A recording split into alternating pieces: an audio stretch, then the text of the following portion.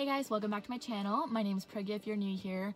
Um, in my last video, I had a skate park vlog where that was actually my first time at the skate park. Today will be about the fifth or sixth time that I've been at the skate park since then. Um, I made a caribou run because I'm not gonna lie, caribou's been kind of iffy recently and I'm really hoping that the like the coffee is up to standards as it used to be. Um, actually, let's just figure that out really quickly.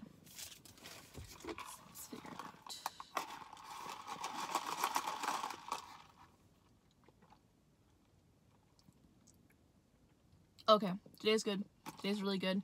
Um, the last two times that I've had caribou was trash, like absolutely terrible. So I'm gonna quickly finish up my coffee and my bagel and we're gonna head out, gear up, warm up, do some stretches, and then let's see what we can do today, guys.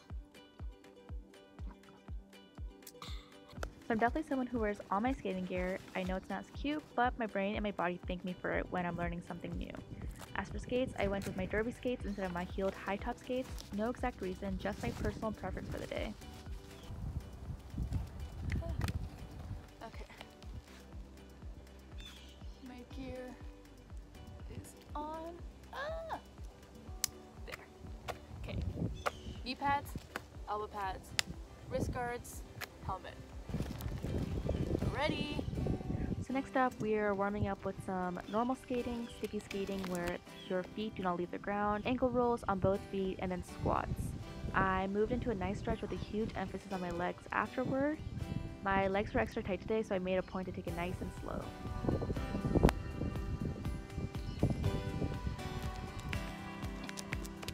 okay.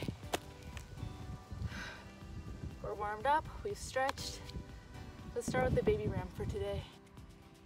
I really like starting off with a smaller ramp because I know it's something I can do for sure, and I feel like starting off your skating session with confidence is a good way to start.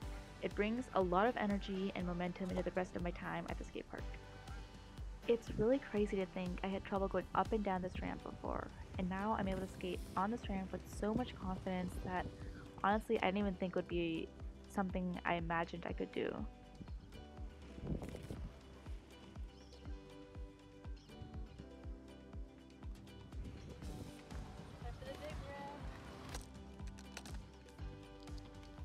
As for this ramp, I still get a little uneasy when at the top. It seems so small looking at it, but once I'm at the top, it feels like I'm so high up off the ground.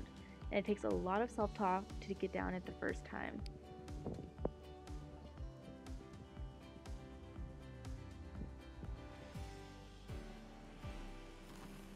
Once I make it down this ramp the first time, my biggest hurdle has been defeated. My mind and all of its doubts that it has. It feels so good to get all that negative self-talk out of you.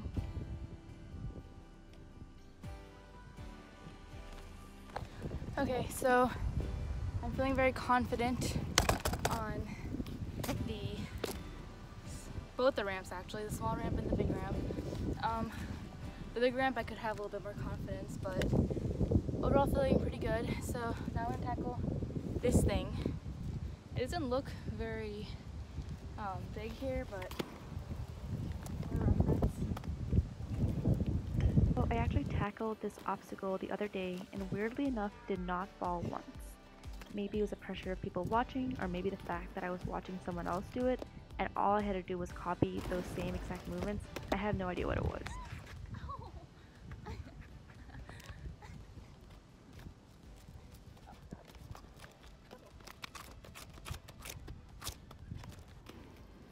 From falling a few times, I had less trust in myself, and the self-doubt was back in my head. And the only way to get rid of self-doubt is to prove it wrong. It ended up taking a lot of attempts to get rid of that self-doubt. I kept my knees bent, ready to take on the obstacle, and then boom, I was down.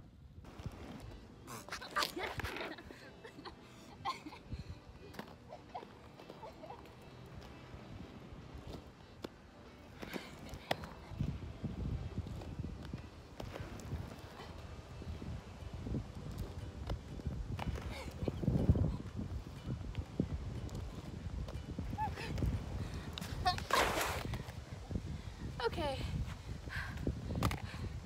Whew. Let's make this. Okay. I think I'm feeling a little bit more comfortable with that. I know how to fall with that. Main thing, learning how to fall. Okay, now I'm gonna go in the bowl type thing. I'm gonna lie, this place is really messy. Like they're not messy. I mean, there are a lot of water bottles and cans and stuff, but more than that, there's just like like a lot of leaves and things around. So that's like a huge hazard for roller skaters, as silly as that sounds, or just skaters in general. Like it gets stuck in your wheels, and it can be like the smallest little pebble, and it gets stuck the wrong way, you go crashing down. So, we'll, we'll, good luck. Good luck to Pragya. So I really like watching footage of my skating because I swear I thought I was bending my knees more here. And looking at this video, I definitely see that I was not bending my knees nearly enough. And it explains why I was having trouble adjusting my weight according to the bowl.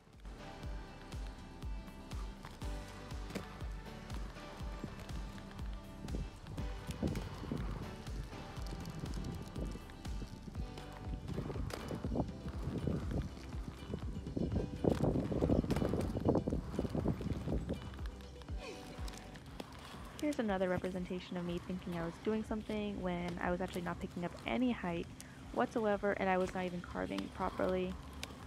More than anything, this is me just trying to get a better feel for the bowl and have fun at the same time.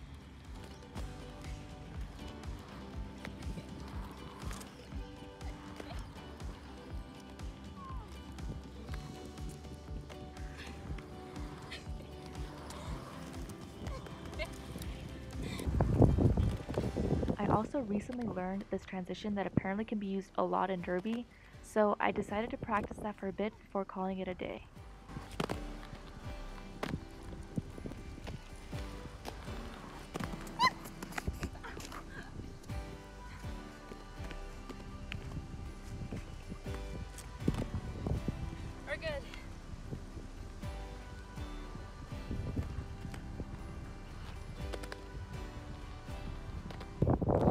Call it for today, guys. Thank you for checking out my vlog slash honestly progress video. Before I couldn't even do the baby ramp you see right there. And now I can do the big ramp. I can do kind of the uneven thingy. Um, and what else? I'm like practicing going back and front, back and forth in the bowl thing. So yeah, thank you for tuning in to my vlog and my progress video type thing. And I hope to see you on the next video.